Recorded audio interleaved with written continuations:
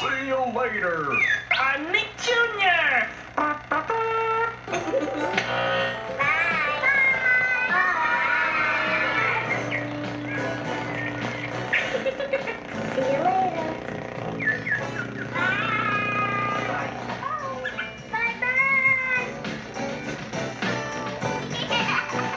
Just for me.